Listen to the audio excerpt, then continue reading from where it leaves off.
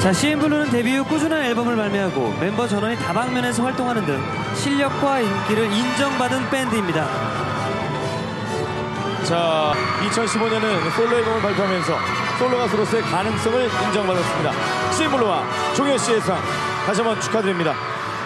두팀 축하드리고 네, CN블루 먼저 부탁드립니다. 네, 올해 어, CN블루 6주년이 됐는데 이렇게 큰 상을 또 받게 돼서 너무 큰 의미가 있는 것 같고요.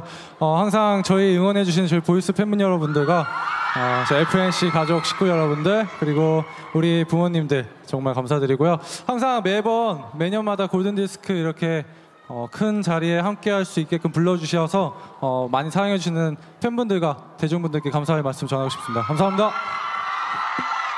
자, 우리 네. 종현 씨도 한 말씀, 뭐 정신 씨도 같이 한 말씀 해주세요. 아, 들어가시네요. 자. 네네. 안녕하세요. 샤이니 종현입니다. 네. 어, 일단 너무 감사드리고요.